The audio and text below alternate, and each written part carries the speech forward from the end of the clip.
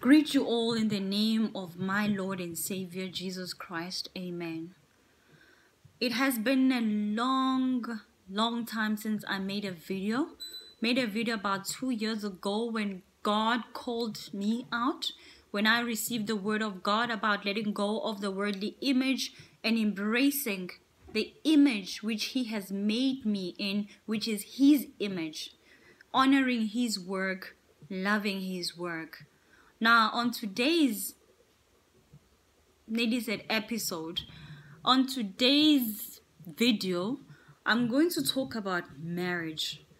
The reason I'm touching on this topic is because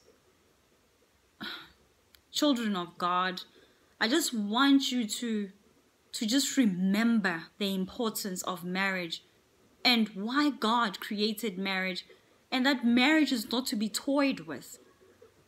You can't decide to get married today and get divorced to tomorrow. It doesn't work that way. Today, they've even made shows now on TV about getting married on first sight. And then after a month, if you feel this is not working, get divorced. It does not work that way. This is not some play show. Marriage is not a playground. Play somewhere else, but not in God's church. Marriage is a church. Marriage is a church. Marriage is a church of Christ. Marriage is ordained to do exactly what the church does. Have you ever sat and asked yourself, why is the devil fighting marriage so much? He is fighting it because it is a threat to his kingdom. How is it a threat to his kingdom? The devil gets in between, gets in a marriage to cause division. Remember, marriage is a it's oneness doctrine. Two people have been brought together into one flesh. Now that remains a mystery. As Paul states, he has brought two people into one flesh. Now the devil gets in to separate that, to cause division.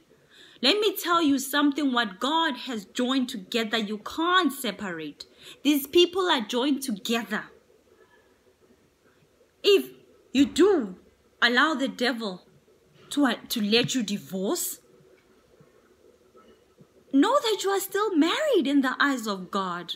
Maybe divorced here on earth, but you are married in the eyes of God. You have been joined with that soul. You have been joined with that person. There is a tie. You can't just separate that from on a piece of paper. No, it doesn't work that way. What God has brought together, let no man separate. The devil plays you in thinking that now you are free. You are free from that man. No, to God, you are still a wife to that someone. You are still a husband to that someone. What you are doing now is engaging in adulterous acts. If you have divorced, your wife is still alive, and you've married another one, you are in an adulterous marriage. Get out of it. Respect marriage. People, respect marriage. It is a church. The devil does that simply to destroy the seed. God said we are to multiply. We are to be fruitful. When he blessed male and female, he said, Be fruitful, multiply, fill the earth, govern it. But how do you govern when you yourself are divided? You can't govern when you are divided. And how can you not be divided when you are not in Christ? The only place where you will remain governed is in the Lord. And in that way, you will be able to govern everything else. You will be able to be fruitful. You'll be able to fulfill your purpose. The purpose of a marriage is to fulfill, is to bring glory to God. He says, What do I want from a union? Godly offspring is what I want. It's in the book of Malachi, chapter 3, verse 15. He said, Godly offspring is what I want. It's what I want from a union. that godly offspring are disciples. That godly offspring are said to be the, the, the arrows of a warrior in the book of Proverbs. The arrows of a warrior. That's why children, children are defined as the heritage of God. Now, when you, an arrow, an arrow is what you use to hit something from afar.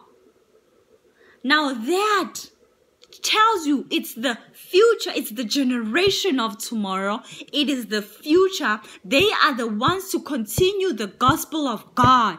That they are the ones to continue the message about the cross.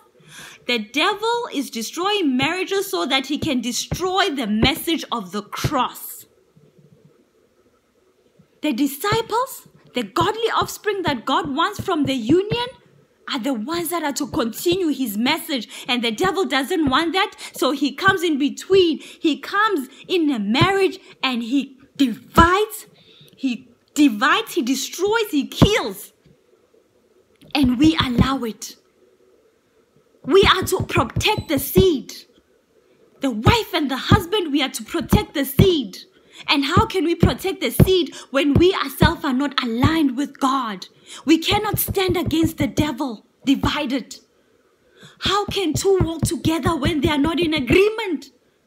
That's what we need to fight for. You need to fight to be in agreement with your husband. You need to fight to be in agreement with your wife. You need to keep your marriage balanced. Scale. You need to keep your marriage scale balanced. What am I talking about when I'm talking about a marriage scale? What I'm talking about, as a wife, you have been given a role. You have been given tasks to fulfill. You are to respect your husband. You are to honor your husband. You are to allow the authority of your husband. You are to submit to him.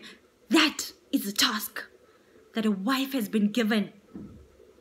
The husband has been given his task as well. You are the head of the house. You are the head of your wife. You are in authority of your household. You are to respect your wife. You are to love your wife just like Christ loved the church and even laid his life for his church. You are to love your wife to that extent that you're willing to lay your life for her. You are to always be by your wife's side. Your wife must be your number one. God, why will God say, a, a, a man is to leave his father and mother and cleave unto his wife, and together they shall become one.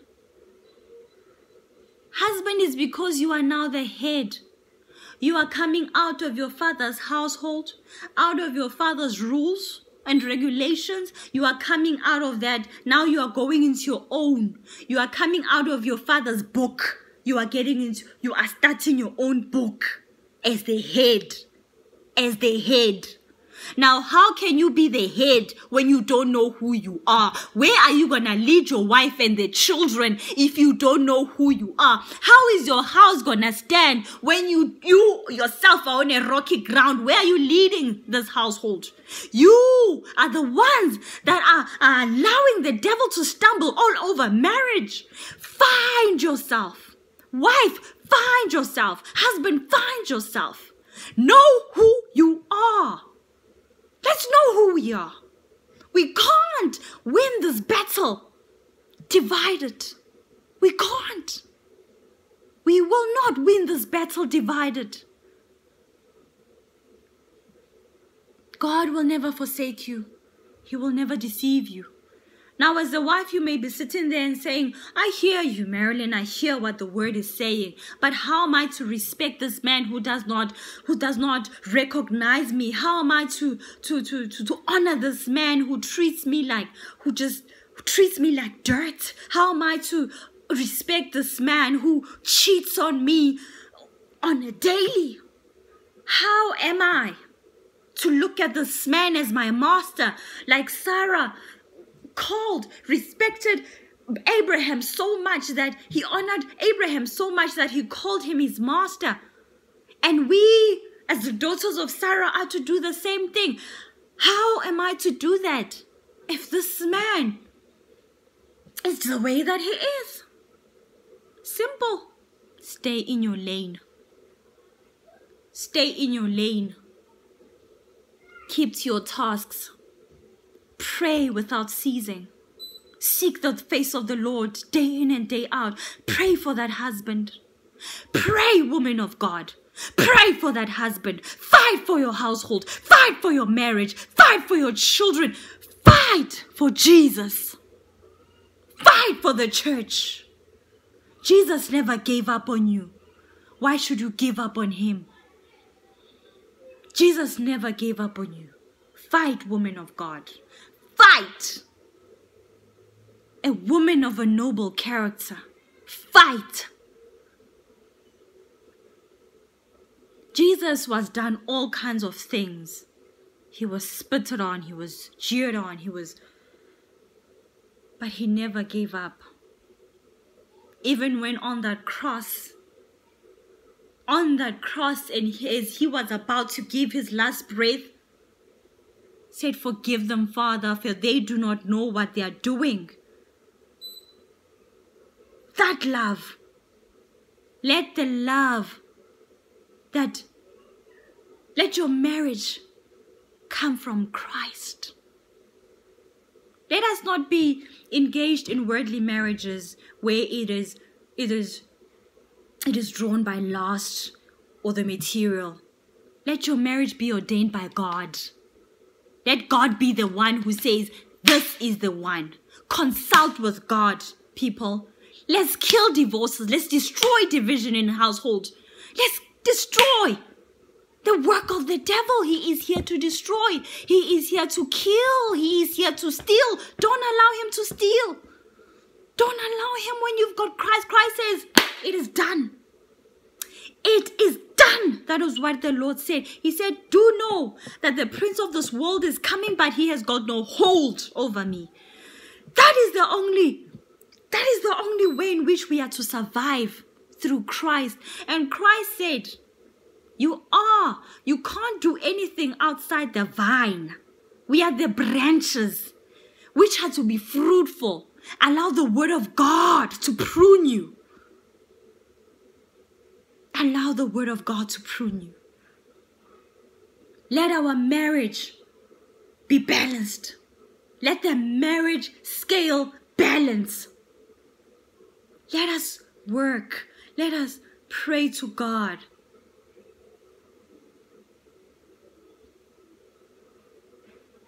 Let us pray without ceasing.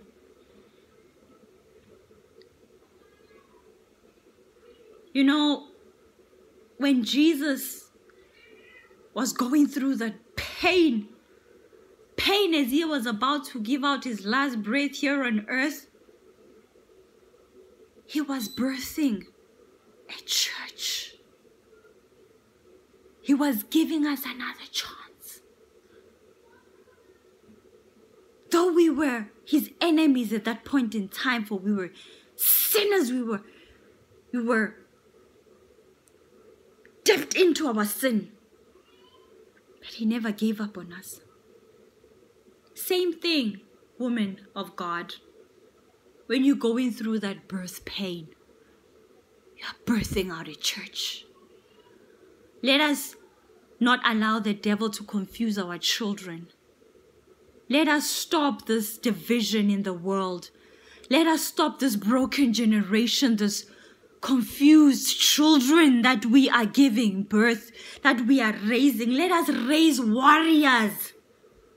Those arrows that we have in our hands, warriors.